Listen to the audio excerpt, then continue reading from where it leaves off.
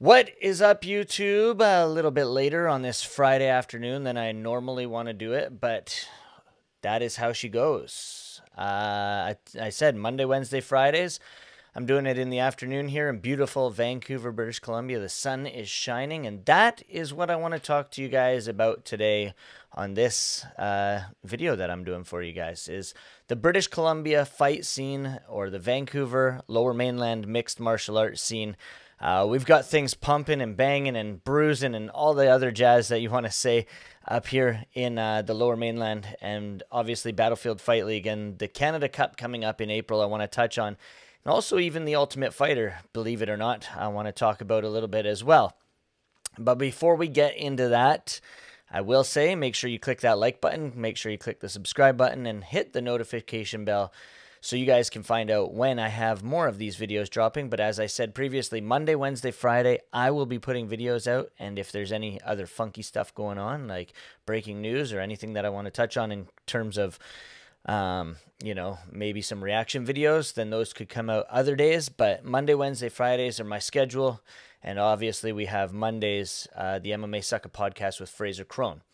So, getting into things here, let's kick things off with Battlefield Fight League 80. Uh, World War is what they're entitling it, and we got Radley De Silva against Caleb Moctezuma. These two guys both fought in the last Battlefield Fight League card, Battlefield Fight League 79. Uh, Radley is 4 and 1. At Battlefield Fight League 79, Radley De Silva uh, earned the championship, defeating Maxime Soucy, who had that title wrapped around his waist, and Radley was able to get the job done. Now, he earned a title in his third pro fight under the Rives FC banner, went on to have a few canceled fights, and then he competed against Mike McAloon and showcased his full fighting potential, uh, domination on the ground, not getting the finish, but again, dominating uh, Mike. And then moving forward, uh, Maxime Soucy uh, thought that Radley may tire out uh, in a five round fight, uh, or he may keep this fight standing. But believe it or not, Radley got the job done. He earned himself a unanimous decision and that featherweight title around his waist. Uh, fans may not have found it to be the most exciting fight on the fight card. Uh, there were it wasn't a knockout like his upcoming opponent, but he did get the job done, and he proved that he is a well-rounded fighter with an impressive gas tank. Now moving to the other side, uh, the Mexican-based fighter Caleb Moctezuma, 11 and four. He's on a significant winning streak, I believe, here. Two, four, six fight winning streak, and he made his Battlefield Fight League debut again at BFL 79, that, which was the last event that they just had. He defeated Gagan Gill, uh, which was quite surprising, I might add, because Gagan, if you guys know him, uh, the local scene definitely knows him, is one of the best strikers and punchers and boxers to come out of the lower mainland. His boxing is is precision based. It's it's technical, and uh, I was actually speaking to someone in the back. Uh, that was in the back with him, and even walking out to the cage, I, I spoke to him a few days ago actually, and I heard that his coaches were telling him not to get into a firefight with this guy. You know, Gagan's a precision guy, and not to get into a war and uh, sort of just let fireworks go and, and get into a rock'em sock'em robot kind of thing. And unfortunately, that's what happened. He got into a firefight, and Caleb uh, landed some serious punches to knock out Gagan just two minutes and six seconds into that very first round. So, a very interesting fight in the main event. If I were to make my prediction, I would go Radley De Silva just based on uh, the skill set that he has. I, I don't know a ton about Caleb.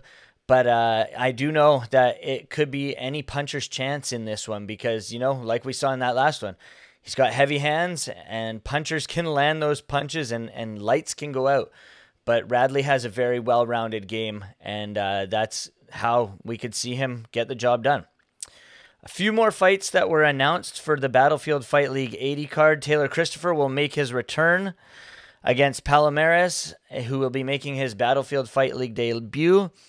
Uh, he made actually he made his Battlefield Fight League debut against the number one ranked uh, Zanaga, and it, this was an interesting fight.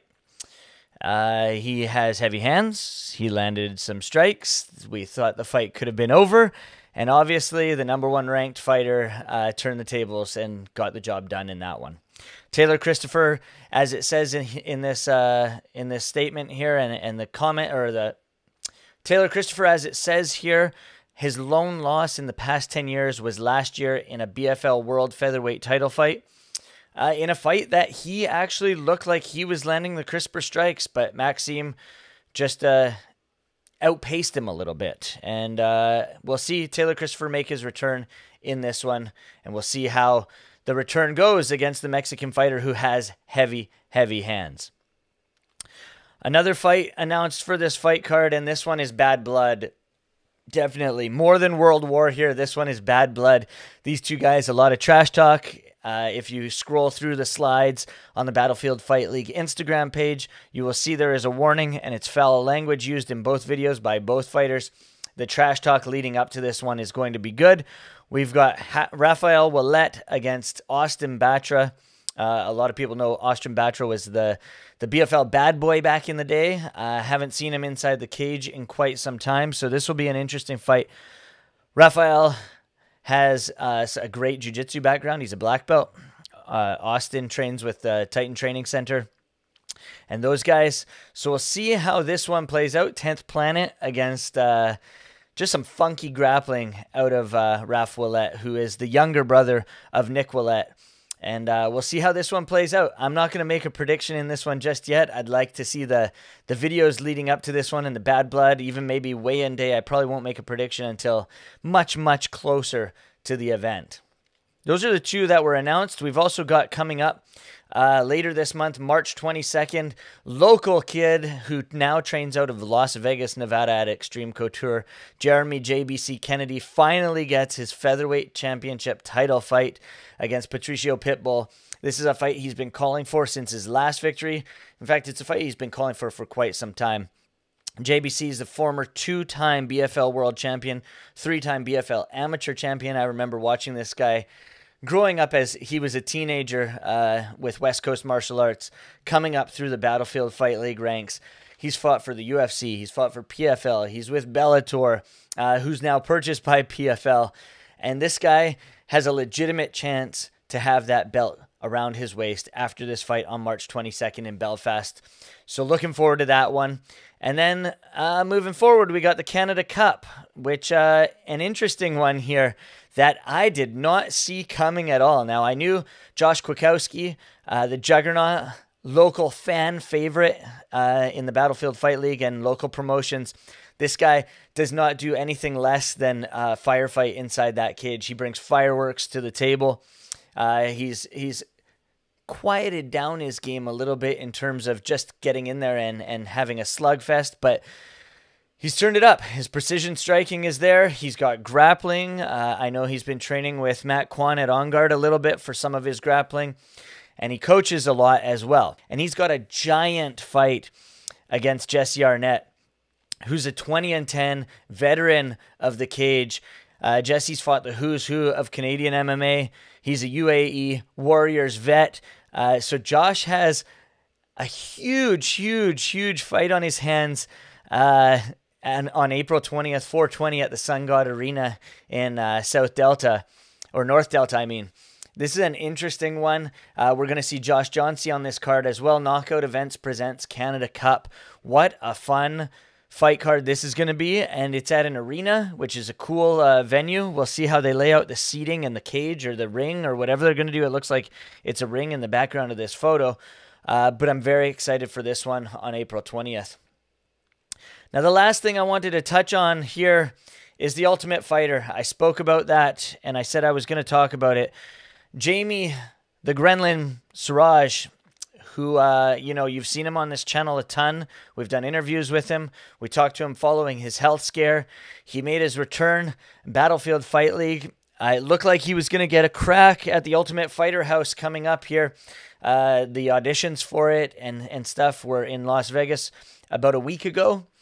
And uh, Jamie Siraj made his way down there to to test his skills and to showcase what he had. And it looked like he was going to be on the cast, but then something came up. I'm not exactly sure. I'd like to get him on on a on an interview here to talk about you know what went down in Vegas. But the caption says, "I came here on a mission to win this whole show. I was in the best shape, focus mindset, and mean intentions in my career. Nobody was going to get in my way. There was a last minute change that was completely out of my control, and man, it stings badly. Now, that's sort of what I want to talk to him about is that